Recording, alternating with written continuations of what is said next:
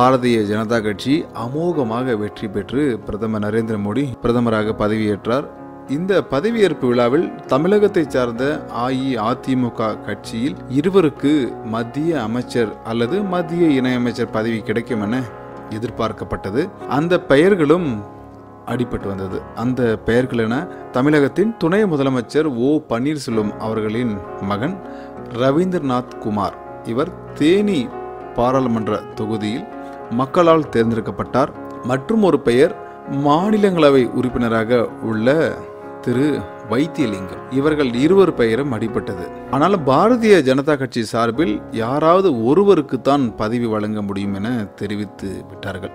இந்த நிலையில் இவர்கள் அஇஅதிமுகவில் இருவருக்கு பதவி வேண்டும் என கேட்டதால் இந்த பதவியேற்பு விழாவில் இந்த அமைச்சரவையில் அஇஅதிமுகவிற்கு அவர்கள் வாய்ப்பு வழங்கவில்லை. சென்ற நாடாளுமன்ற தேர்தலில் தன்னந்தனியாக நின்று முப்பத்தி ஏழு தொகுதி வெற்றி பெற்ற அஇஅதிமுக எந்தவித பதவியும் அனுபவிக்காமல் வெறும் நாடாளுமன்ற உறுப்பினர் பதவியை மட்டுமே அனுபவித்தனர். ஆனால் இந்த முறை ஒரே தொகுதியில் வெற்றி பெற்ற ரவீந்திரநாத் குமாருக்கு மத்திய அமைச்சர் பதவி வழங்குவதாக தெரிவித்தும் அஇஅதிமுகவில் உள்ள கோஷ்டி பூசல் காரணமாக இந்த நாடாளுமன்ற அவையில் அஇஅதிமுகவிற்கு அவர்கள் அமைச்சர் பதவி வழங்கவில்லை.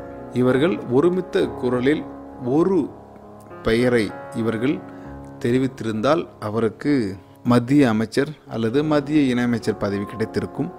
ஒற்றுமை இன்மை காரணமாக தமிழகத்துக்கு வர வேண்டிய அல்லது தமிழகத்திற்கு வழங்கப்பட நினைத்த அந்த மத்திய அமைச்சர் பதவி இப்போது பறிப்போகியுள்ளது தமிழகத்தின் குரலாக ஒழிக்க இருக்க ஒரே ஒரு பதவி தான் வழங்கியுள்ளார்கள்.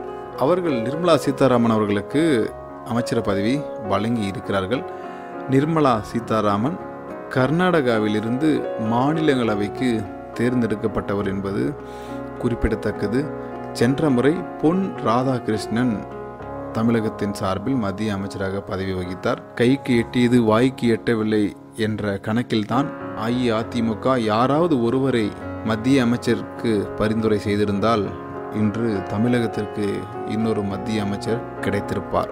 ரவீந்திரநாத் குமாரை நாம் எப்படி தேர்வு செய்வது என்று பல அஇஅதிமுக முன்னணியினர் கணக்கு போட்டு அவர் மத்திய அமைச்சராக ஒத்துழைக்காத காரணத்தால் தமிழகத்தில் அஇஅதிமுகவிற்கு எந்தவித மத்திய அமைச்சர் பதவியும் கிடைக்கவில்லை என தெரிவிக்கப்படுகிறது.